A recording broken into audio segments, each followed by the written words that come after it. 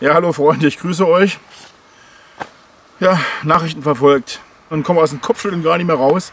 Was kommt zum Beispiel dabei heraus, wenn die ARD, die Allgemeinen Rundfunkanstalten Deutschland, von einem Machtspiel par excellence um die, um die EU-Top-Jobs spricht oder schreibt? Wir reden nicht von von, von verantwortungsvollen Positionen. Wir reden von Jobs. Das heißt, ich gehe jobben, ich mache, gehe eine Frittenbude, Pommes verkaufen. Das will ich nicht ab, abwerten, aber das sind Jobs. Wir sprechen hier von hohen verantwortlichen Regierungsämtern, äh, über die da geredet wird.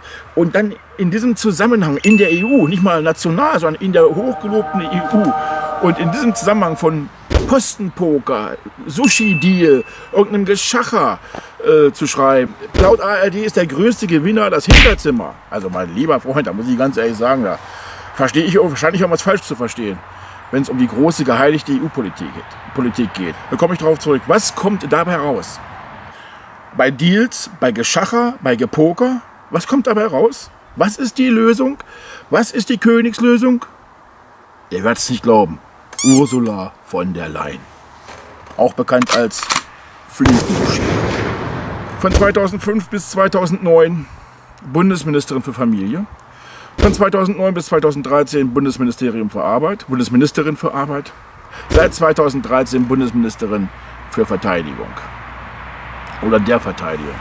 Normalerweise, wir kennen das alle, lernt man so und so lange einen Beruf oder man studiert ihn, um dann darin, sich die ersten Sporen zu verdienen, um dann zu sagen, so jetzt bin ich ein Fachmann, jetzt bin ich Experte, jetzt kann ich mitreden, jetzt kann ich Abteilungsleiter werden. Abteilungs ich rede nicht vom ganz oben, vom absoluten Verwaltungschef.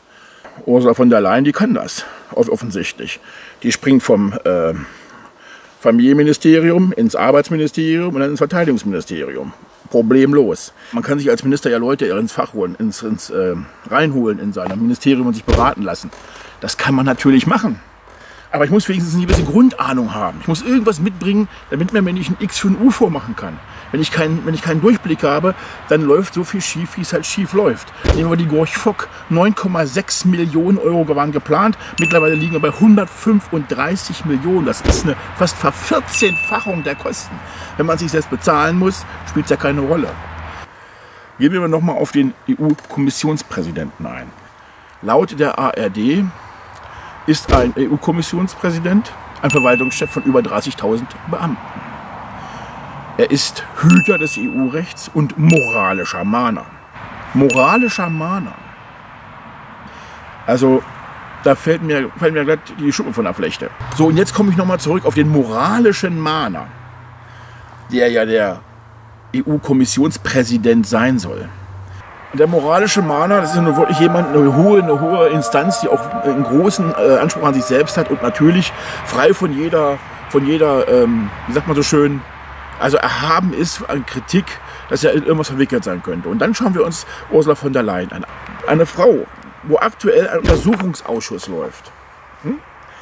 Äh, diese Frau, die soll größter moralischer Mahner und Führer der EU werden.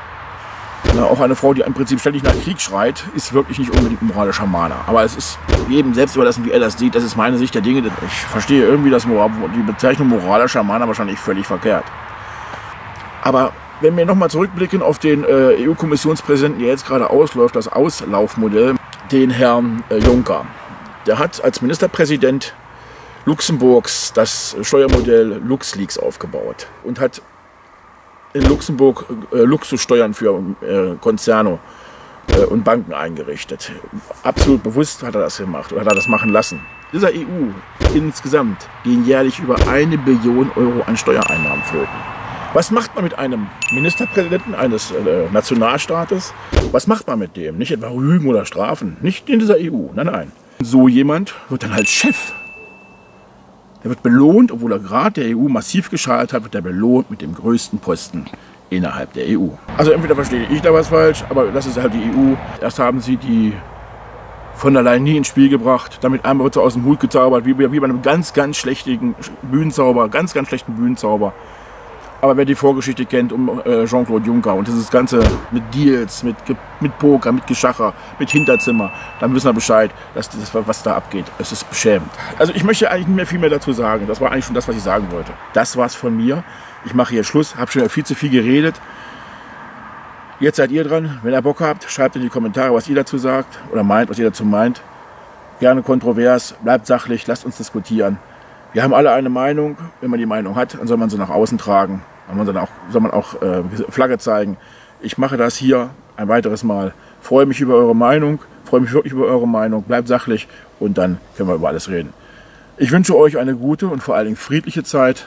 Lasst euch kein X für UFO machen, bleibt wachsam. Und äh, ich danke euch fürs dabei sein und macht's gut. Bis zum nächsten Mal, euer Chance.